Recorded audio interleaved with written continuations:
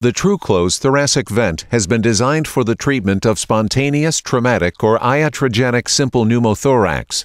It can also be used for evacuating air from the chest following thoracic surgery. A thoracic vent comes in a procedure tray that is conveniently packaged in a sterile pouch. The thoracic vent includes a red signal diaphragm in line with the catheter. Fluctuations of the red signal diaphragm demonstrate entry of the catheter through the pleura and into the pleural cavity. The signal diaphragm will continue to fluctuate with respiration until the pneumothorax is resolved. A valved aspiration cannula is provided to allow for manual air evacuation through the self-sealing port at the top of the vent.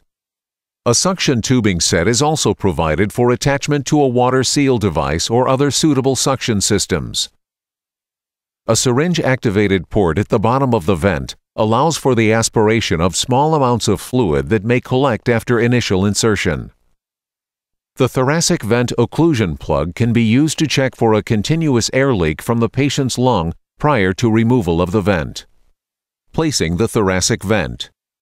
This radiograph shows a moderate pneumothorax in the left pleural cavity. Here is the suggested procedure for using the thoracic vent. The site is selected preferably at the second interspace in the midclavicular line. The site is prepared with a PREP solution. The fenestrated drape is utilized to isolate the operative field. Local anesthesia is administered in the selected site. A small skin incision is made at the site. The trocar is introduced into the device through the self-sealing port. Grasp the thoracic vent in the most comfortable manner with thumb or first digit over the trocar handle. Remove the paper from the back of the vent box to expose the adhesive. Then position the device and gently introduce the trocar catheter assembly through the incision, staying immediately above the superior border of the lower rib. When the trocar tip perforates the pleural membrane and enters the pleural cavity, the red signal diaphragm deflects upwards. Do not advance the trocar any further. The full length of the catheter is introduced into the pleural cavity using the trocar as a tract, and then the trocar is removed. The silicone sponge material at the base of the catheter helps to provide a seal at the incision site. The covers on the side flaps of the adhesive patch are peeled away and the device is secured to the chest wall. The vent can also be sutured in place.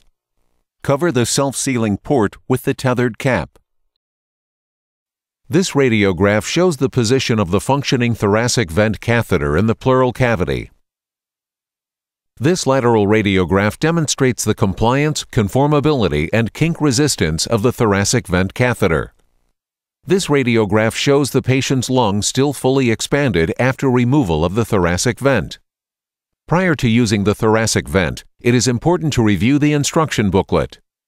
This film demonstrates the advantages and superiority of the Uresil Tru-Close thoracic vent. The device can be quickly and safely introduced under all conditions and settings, and is a reliable technique for managing simple pneumothorax.